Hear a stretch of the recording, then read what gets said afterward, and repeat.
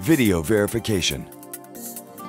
With the Westec Video Verification Service, intervention specialists at the Central Command Center can verify the cause of an alarm by using the surveillance system to look into your location. I see someone walking see? across the property. All right, go ahead and dispatch police right away. Our highly trained intervention specialists are ready to identify, evaluate, and respond 24 hours a day, 7 days a week. Hello, this is operator 705 with Westec Interactive Security. I need to dispatch on behalf of one of our clients in Gold Coast, please. False alarms have been a problem throughout the country. Uh, we have cases where law enforcement won't even respond to an alarm until there's a verification. And obviously, at the local level, to achieve that, you have to get somebody out of bed to respond to the site. Um, but through video verification, we can actually verify whether or not an incident has occurred and have law enforcement respond accordingly. Zero training alarm. Zero training alarm. Missouri City Police, Teresa.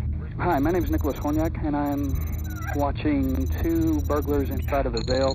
What's the address, sir? The address is 5730 Highway 6 South. They're inside the store, Shannon. At Zales. Yeah, you see two of them? One of them's wearing a hat. Okay, one wearing a hat. hmm Uh huh. And how about the second one? I can't tell them the second one. They're bent over behind a case, and I can't see them. One is heading towards the front door right now One is heading towards the front door. Correct. One is heading towards the front door. and just exited. One just exited. One just exited. Do you have officers outside my store? Okay, as a matter, yes, we do, Okay. and we also we think we have them because they're not stopping. Okay. Now, live, local 2 today at 6 a.m.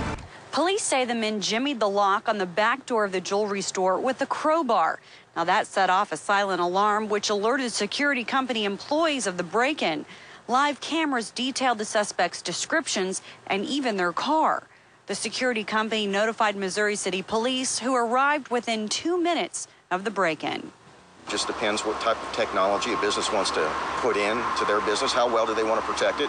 And Zales is serious about protecting their business and their inventory, and uh, they've got the best technology available. Westec. Intelligent surveillance.